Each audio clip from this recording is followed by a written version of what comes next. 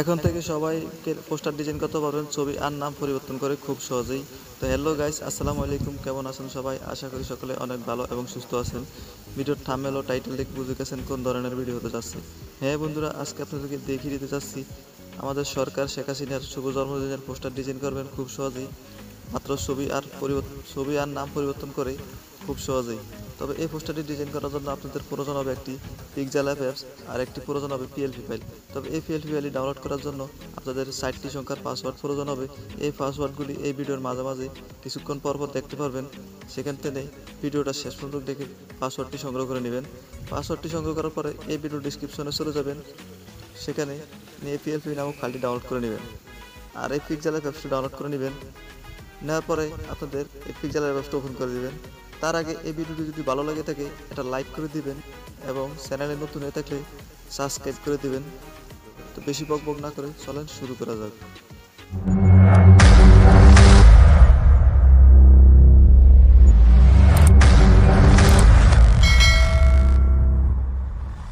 সর্বপ্রথমে আপনাদের পিকজালের অ্যাপসটা ওপেন করে দিবেন।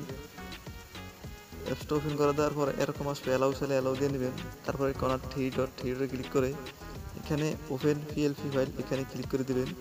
এখানে ক্লিক করার পর আবার এখানে পিএলপি এখানে ক্লিক করে আপনি এখানে দেখা থাকব শেখ হাসিনার শুভ জন্মদিনের পোস্টার ডিজাইন তো ওখানে ক্লিক করে দিয়ে, ওখানে ক্লিক করে দিয়ে এবার এই ব্যাগে ক্লিক করবেন।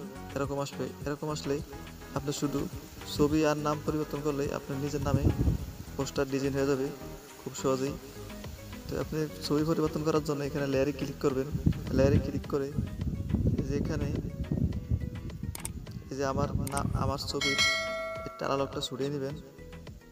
টালালকটা ছুড়ে নিয়ে আবার আমার নামটা এখানে টালালকটা ছুড়ে নেবেন। এই যে টালালকটা ছুড়ে নিয়ে আবার লেয়ারে ক্লিক করবেন।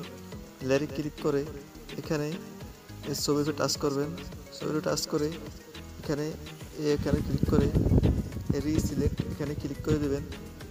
এখানে ক্লিক করে, এখানে থ্রি ডটে ক্লিক করে গ্যালারি থেকে একটা ফটো নেবেন। অবশ্যই আপনার ফোনে একটি ব্যাকগ্রাউন্ড ফটো লাগবে। ব্যাকগ্রাউন্ড কীভাবে রিমুভ করতে হয়, আপনারা যদি না জেনে থাকেন, আমার এই ভিডিও ডিসক্রিপশনে দেওয়া থাকবে অথবা এই চ্যানেলে দেওয়া থাকবে ভিডিও সেখান থেকে দেখে নেবেন। একটা ফটো নিয়ে নিলাম।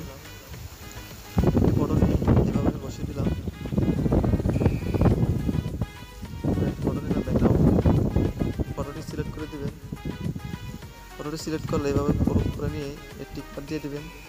টিকপার দিয়ে এইভাবে আপনি অ্যাডজাস্ট করে নেবেন। এইভাবে অ্যাডজাস্ট করে নেবেন আপনার মন মতন করে। ছবিটা রোটেট করার জন্য প্রয়োজন হলে এখানে টাইম টু সলভ করলে এই যে রোটেট থ্রি রোটেট এখানে ক্লিক করে এভাবে দিয়ে দিবেন। এভাবে বসিয়ে দিয়ে আপনার ছবি বসানোর কাজ শেষ। এখন থেকে আপনি নাম পরিবর্তন করবেন। তারপরে এই এখানে এই আইকনে ক্লিক করে এর নামের উপরে টাচ করবেন।